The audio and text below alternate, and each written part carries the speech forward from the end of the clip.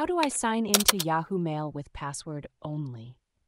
If you're struggling to sign into your Yahoo Mail account and wondering how to do it using just your password, you're in the right place. Let's break it down step by step. First, you need to understand that signing into Yahoo Mail typically requires both your email address and your password. However, the process is relatively straightforward once you know the steps.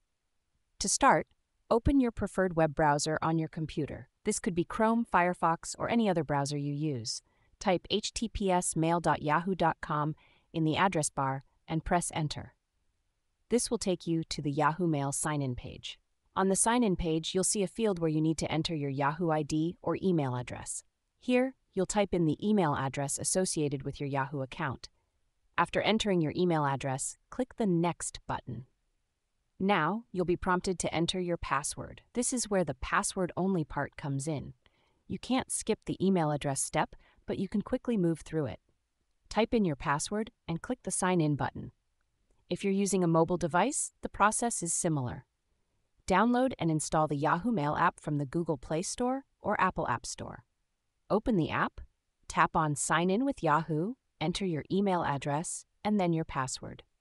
It's important to note that you can't bypass the email address step, as Yahoo requires both your email address and password to ensure your account's security. If you're having trouble signing in, there are a few things you can try.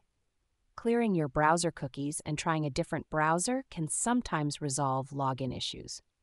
Also, ensure that your internet connection is stable, as connectivity problems can prevent you from accessing your account. In some cases, if you're still having trouble, it might be worth checking if there are any issues with your account or if Yahoo is experiencing any service disruptions. So, to sum it up, while you can't sign into Yahoo Mail with just your password, following these steps will help you log in quickly and securely using both your email address and password.